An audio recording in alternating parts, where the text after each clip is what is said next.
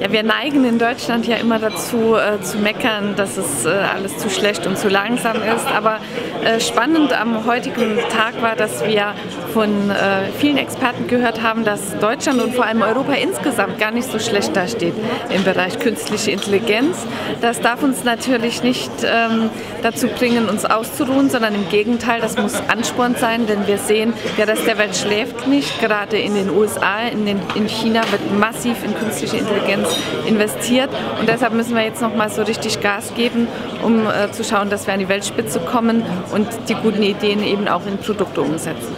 Ja, KI äh, bietet viele Chancen, große gesellschaftliche Probleme, die wir haben, was ähm, Krankheit, was Hunger in der Welt angeht, was das Thema Nachhaltigkeit, Ökologie angeht, äh, zu lösen. Und das wird natürlich Auswirkungen auf unser Zusammenleben haben, unser gesellschaftliches Zusammenleben.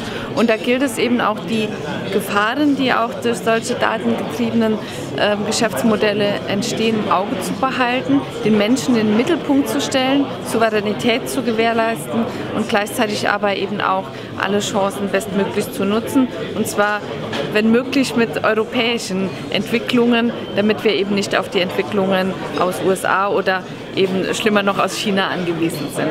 Für ganz elementar halte ich, dass wir uns alle mit dem Thema äh, Digitalisierung, aber vor allem eben auch künstliche Intelligenz beschäftigen. Das darf nicht nur so eine ähm, politische Diskussion in Berlin sein, sondern muss auch stärker ein gesellschaftliches Thema sein. Und das hat auch ganz viel mit Bildung zu tun.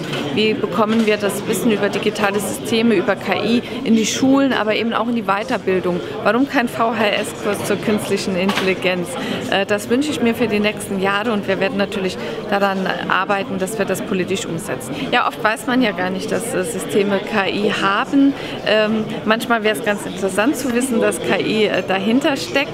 Ähm, aber das wird zukünftig natürlich äh, zunehmen und da spielt natürlich das äh, Stichwort Transparenz eine Rolle. Ich will natürlich auch wissen, wer hat denn die Entscheidungen getroffen? Äh, war es ein Mensch, war es eine Maschine, waren es Daten, die gelernt haben und was waren die Kriterien dafür?